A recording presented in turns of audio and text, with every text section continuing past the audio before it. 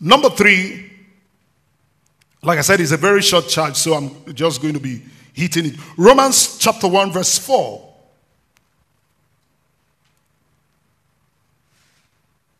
Now, resurrection made holiness possible. Resurrection made holiness what? Possible. Now, Romans 1 4 said, and declared to be the Son of God with power,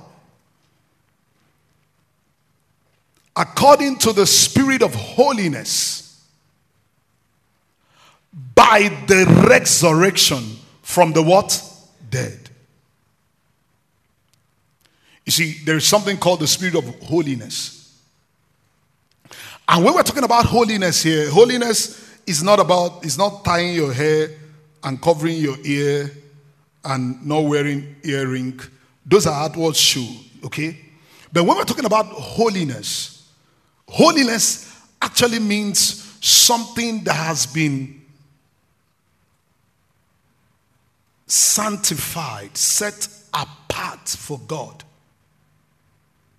And you see, that's one of the things why somebody is that is holy cannot do what he wants to do with himself because he has been separated. Are you with me? The reason why we can live separated lives is because of the resurrection from what? From the dead. So holiness becomes a possibility. Are you with me? Come on, are you with me? The spirit of holiness by the resurrection from the dead.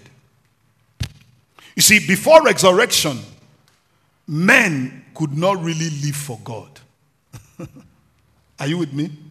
Men couldn't live for God. But resurrection from the dead made it possible. Every one of us now can live a consecrated life. Every one of us can live a dedicated life. No wonder the Bible says that sin shall not have dominion over us. And the only thing that made this possible is because of what? Resurrection.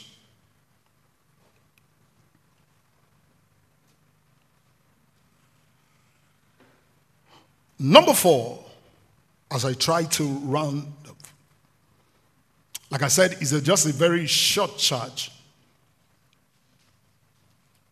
You see, without resurrection, there will be no hope. Life will be hopeless. Life will be meaningless. And I'm going to look at this hope in two dimensions both the normal hope, as in being hopeful, and then the hope of resurrection.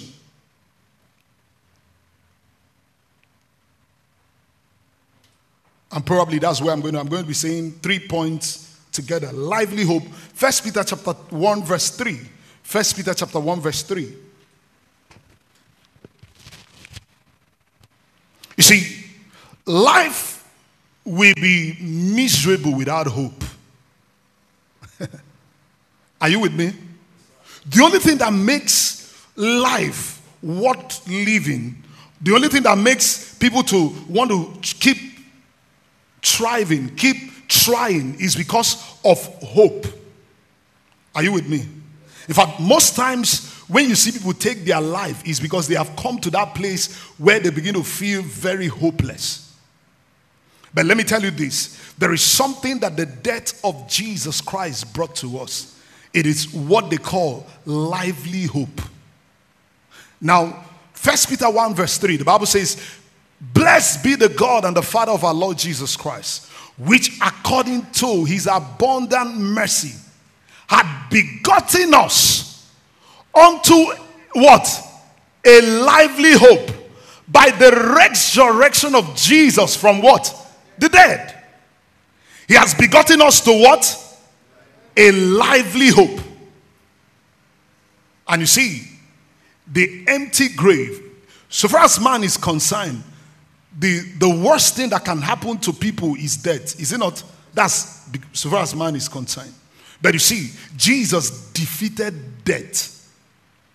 just to help us to understand that there is nothing, there is no hopeless situation.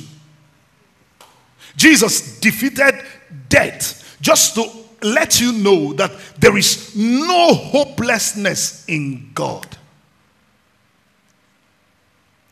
The reality is this I don't know what you are going through, but the grave, the empty grave, is a pointer that there is nothing that God cannot do. That empty grave is there to show us that your life is not hopeless. He begot us unto a lively hope by the resurrection of Jesus from the dead. Now, let me connect this to one or two more things and I bring it to close. Now, let me tell you this one of the things that brings hope is for you to really understand that that true life is in Christ Jesus Christ. You know, Jesus speaking in John 14, where we read, he said, Because I live, you will live also. Because I live, you will live also. Now, let me tell you this one of the things that happens to anyone, any child of God, is that the fear of death is taken away. you may not, do you, uh, okay. As much as death is a painful thing, but you see, for a child of God, a child of God doesn't really die, he sleeps. Hey, are you with me? No, you see, it's good for us to remind ourselves these things. In fact, that's one of the things that, one of the reasons that the Bible will say that we should not mourn like the people who are in the world when we lose it. It's very painful, as painful as it is. You see, God, there is hope in Christ Jesus. There is a lively hope. And the thing that made this lively hope possible is the resurrection of Jesus from the dead. Now, let me tell you this anyone who died in Christ is not dead, is, is asleep. And it means that we can see the person again in the resurrection morning. And as I conclude, I want you to know also that the thing that resurrection made possible is our resurrection from the dead.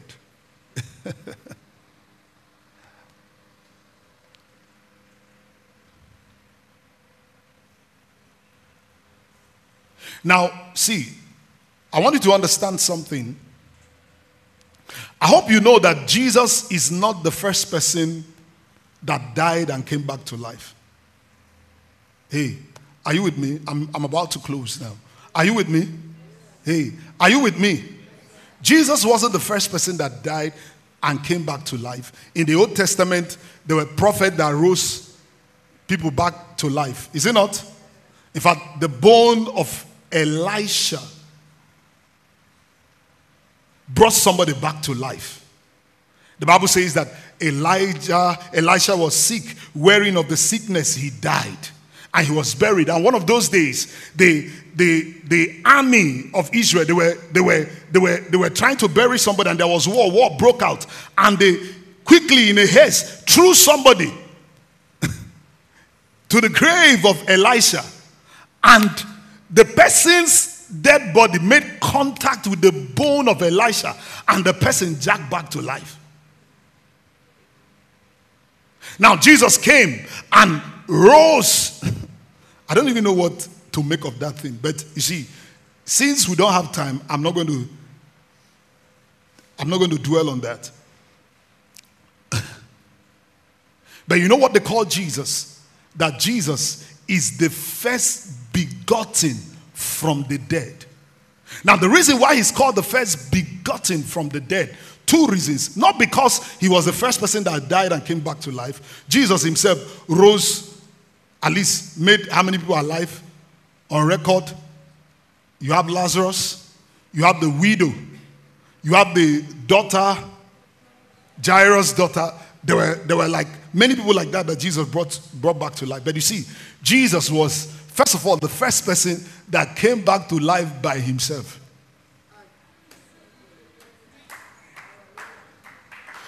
Every other person that rose from the dead needed the aid of somebody else, the anointed. But Jesus didn't need the aid of anybody. You know what he said? He said, By my own self, I lay down my life. And by I also have power to take it up. Now, the most important thing that made him the first begotten from the dead, he's actually the first person that, that rose, that came back to life, as in regeneration.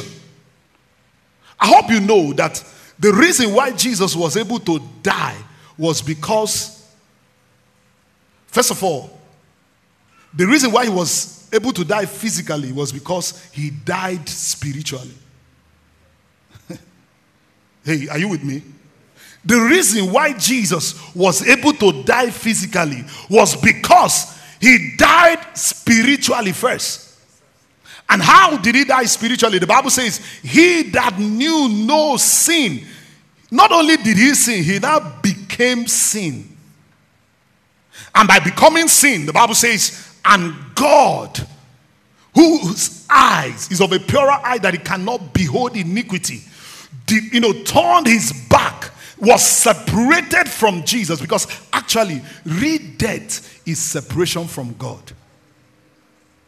Real death is not that a man died. You know, that's why Jesus will say, Don't fear the people who have only the power to kill. And they don't have, the only person I, I recommend that you fear is the one who has power to kill your flesh and still carry your soul and put it in hell. He said, That is the only one to fear. Hell yeah. Beloved, real death is actually separation from God. That's true meaning of death. So Jesus was separated from death from God, then he was able to die. Now, let me tell you this. Let me say this just in passing. You see, that was actually the thing that Jesus, you know, when Jesus was was crying, if it were your will, let this cup pass over me. Now, it, wasn't about the, the nails, it wasn't about the, the tongues, it wasn't about all the torture that he went through. No, the thing was that for the very first time in his life, one, he was going to be made sin. Do you, do you understand what that means? And then, secondly, his father was going to be separated from him.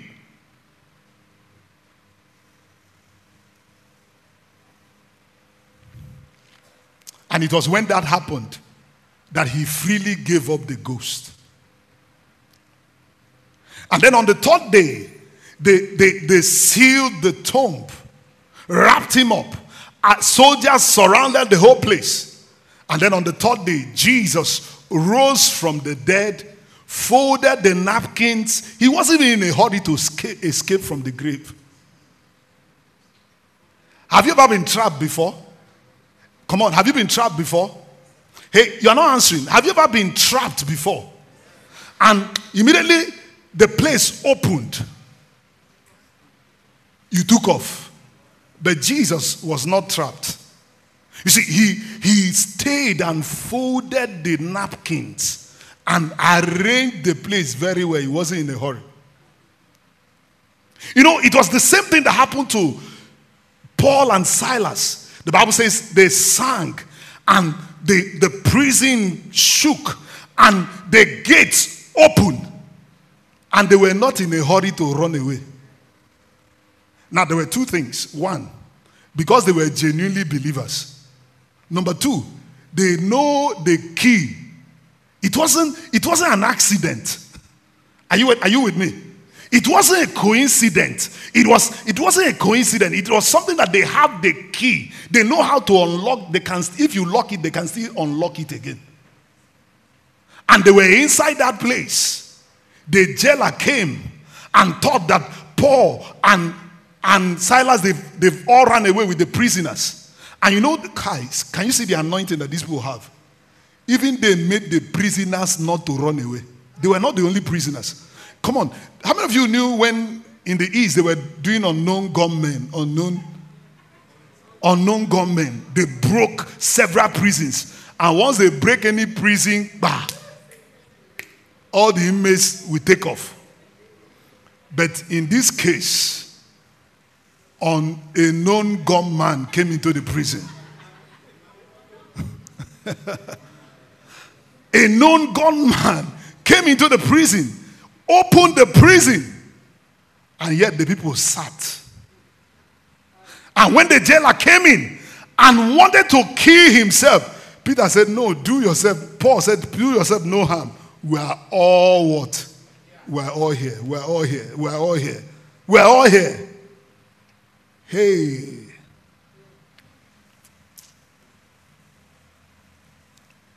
We're all here.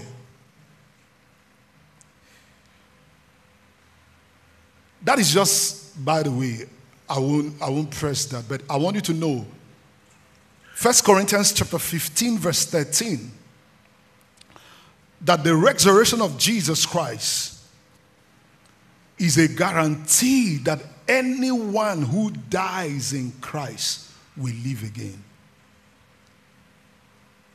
You know, there was this time, there's this, the Pharisees, the Sadducees, there was this debate, and they were debating that there is no resurrection. And Paul began to write and said, But if there be no resurrection of the dead, then Christ is not risen. So that means it is the resurrection of Jesus that is going to make the resurrection of the dead very possible. Now, the question is this Do you have this Christ in your life?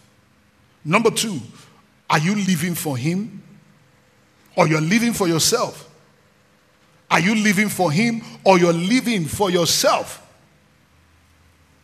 It is the death of Jesus that makes resurrection. We don't die.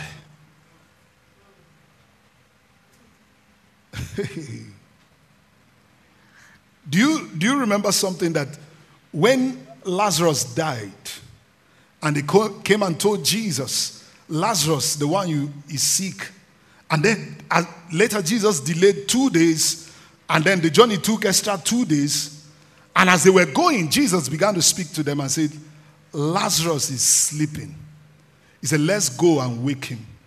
And the disciples were wondering, if Lazarus is asleep, when we sleep, do you come to wake us?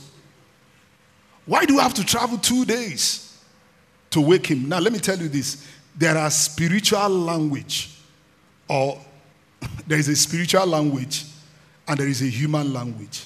Now, the Bible says that Jesus had to speak in a way they will understand. He said, Okay, let me just tell you, Lazarus is dead. I'm glad I wasn't there when he died, but we're going there to wake him up. And Jesus said, told Mary and Martha, He said, I am the resurrection and the life. He said, Whosoever, whosoever believes in me, though he were dead, shall he do what? Live again. And Apostle Paul capped it this way. He said, If only in this world that we have hope, we are amongst all men most miserable. If all that we are living is just for this life, the Bible says that we are amongst men most miserable. Now, the question is this what are you living for? What are you living for? Are you still living for yourself? Are you still living for things? If only in this life you have hope, there is a living hope that the death of Jesus Christ made available.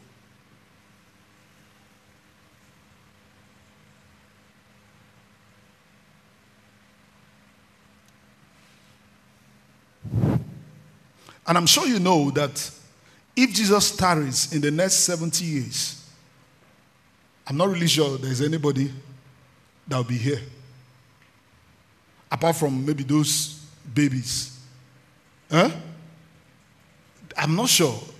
Is it? Huh? Hey, is there anybody that will be here in the next 80 years? I'm not sure. Me, I will not be here.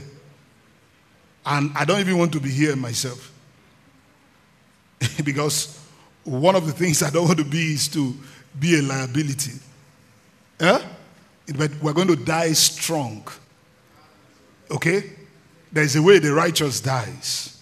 when he wants that you put yourself, put your house in order. That's the way I want to die, like Jacob.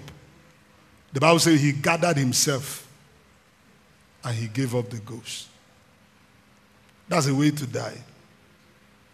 And it's not necessarily about the age. But you see, there's a way you walk with God. You're actually going to know when you're about to go. You can find that out in the life of Paul, in the life of Peter. Peter said, Look, it, it, the time for me to put out this earthly tabernacle is near. You can walk with God that way and know when you're about to leave.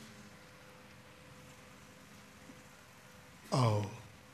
And you see, for the righteous, when they are dying, they die with smile.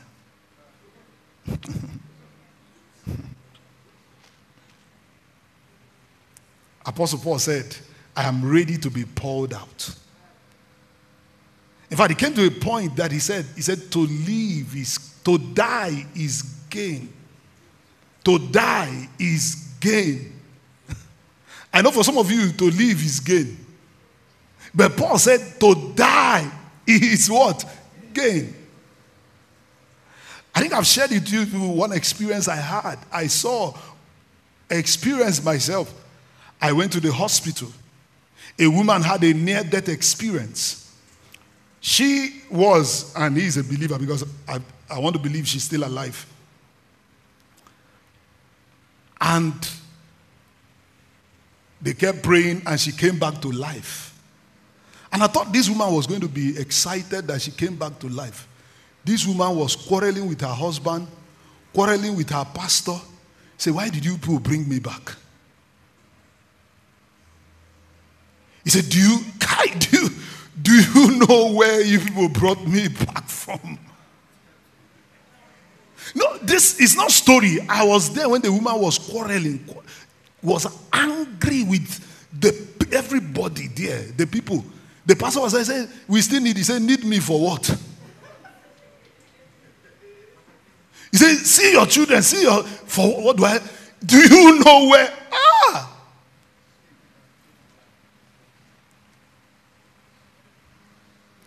If only in this life we have hope, we are amongst men most miserable. The resurrection of Jesus from the dead means that we have a lively hope. Our hope is not just here, our hope is in the life to come. Now, let me end with this story.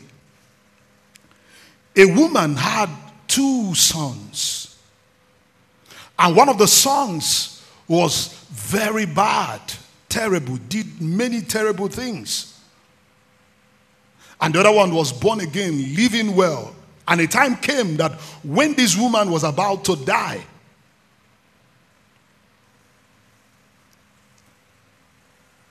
she laid on her dying bed and brought those two sons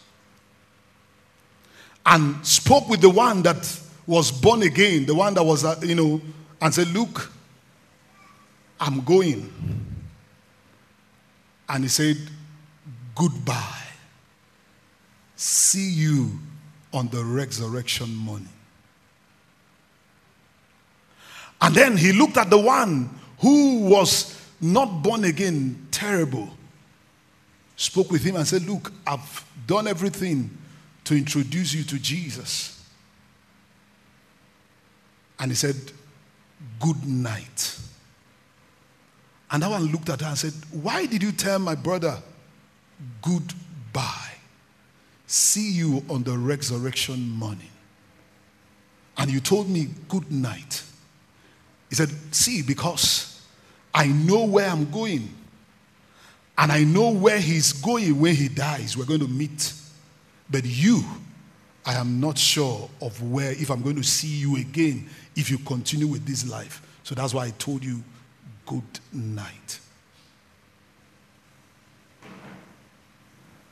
And you know, the woman died. That was the message that converted the son. Can you bow your heads as we pray?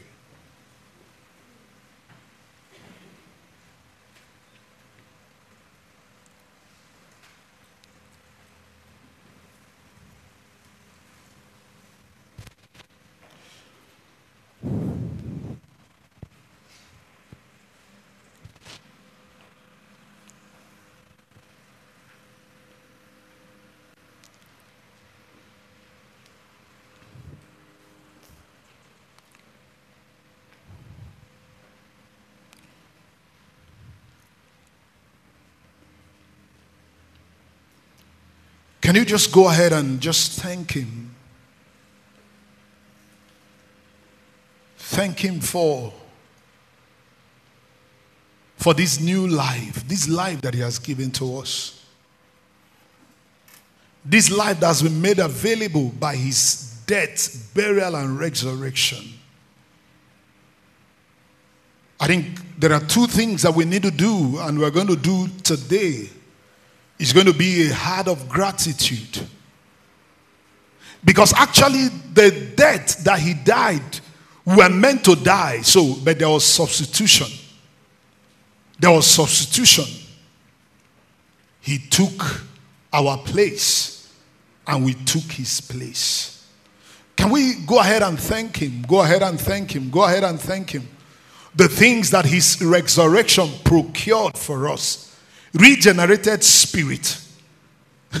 The depraved mind has been renewed has been made alive has been made alive. If not many of us would have been in assassin oh you you heard the moderator talking about what the mom told him this morning and said look thank god for resurrection.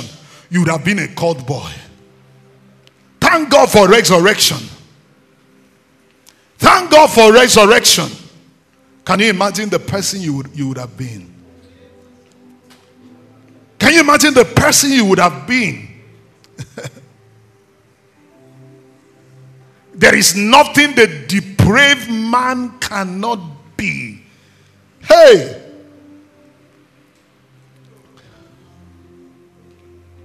You know, there's this movie I watched, which was a true life story something that happened in Florida, as civilized as those people are, if you see the you see the nature, how depraved man is, how depraved man is. It doesn't matter the school any man goes to. Without Christ, the person is depraved. It doesn't matter the certificate, it doesn't matter the training, that you give to a man or a woman. Can we just thank him? That's just is you see, it should just be more of a, a time of gratitude. Because if you are not able to appreciate what he has done for us, we will not be able to lay hold on what he has procured for us. Can you appreciate him? Because of this life we have the indwelling Holy Spirit. Because of this resurrection, we can live a holy life. We can live for Him. We can truly live.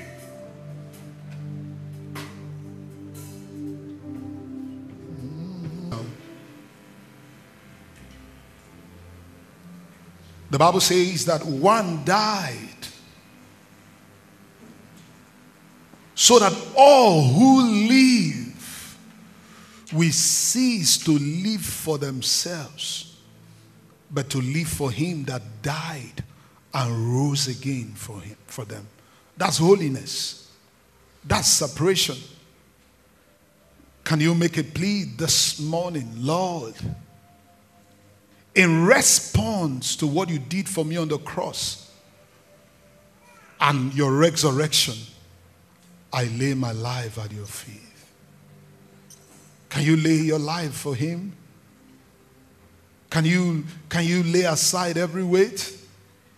Can you present your body a living sacrifice? Go ahead and pray. Go ahead and pray. That's one of the easiest ways to procure all the things that resurrection made available when we live a consecrated life. It's one of the easiest way, the cheapest way to live or to, to have the things that resurrection made available.